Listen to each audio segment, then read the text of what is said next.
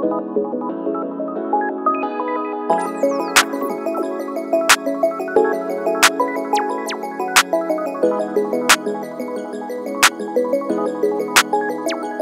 collectors and welcome back to another review.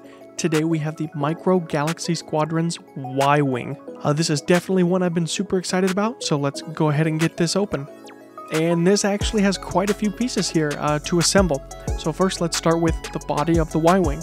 Just by looking at it, you can tell there is a ton of detail on this thing. It is insane on the body with the weathering and everything.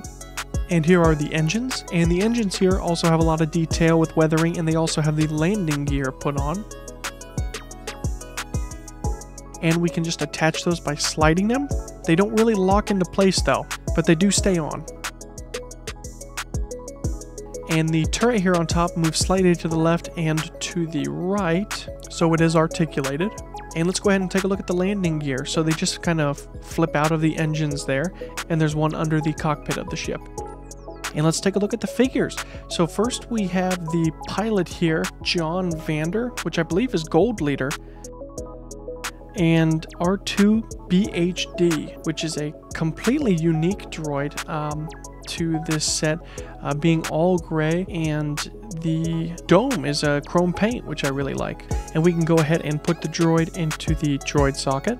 And the cockpit actually opens from the side and we can slide the pilot inside, snap that back on, and it is ready to go. And also on the bottom of the head, uh, there are these missiles.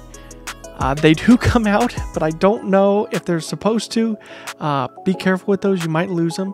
Yeah, I mean, I absolutely love this. This is probably one of my favorite Micro Galaxy Squadrons um, ships just due to the weathering and the detail. It's, it's awesome. And stay tuned for the next review where I review the new Vulture droid and I also got a mystery pack with that. But um, tell me what you guys think below and we'll see you in the next one.